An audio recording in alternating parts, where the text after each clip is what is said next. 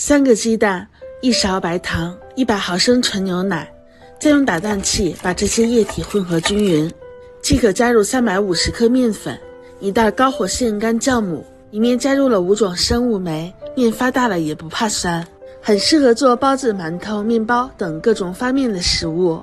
搅拌成蛋面絮，加入一勺食盐，适量的食用油。面团比较粘手，直接用刮刀混合均匀。移到揉面垫上，按搓洗衣服的手法搓上三分钟，会出现一层手套膜。放在冰箱冷藏十分钟，擀成长方形的单面片。接着准备上三个紫薯，蒸熟之后用叉子压成薯泥，其中一半铺上紫薯馅料，然后对折。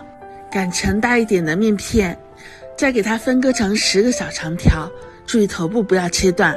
我每天都会分享一道家常美食，点击关注和收藏。想吃不会做的时候，可以随时找到我。按照视频的手法扭成麻花的形状，从一侧开始卷起，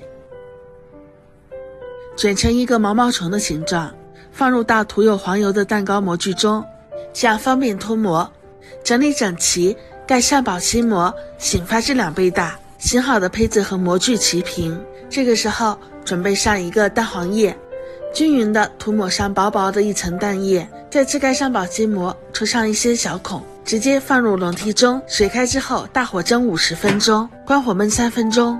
不用厨师机，不用烤箱，在家就能做出非常好吃的蒸面包，颜色金黄，蓬松暄软。奶香浓郁，添加的紫薯层次丰富，一层一层撕着吃更香，很适合当做早餐，比买的还要香，快试试吧。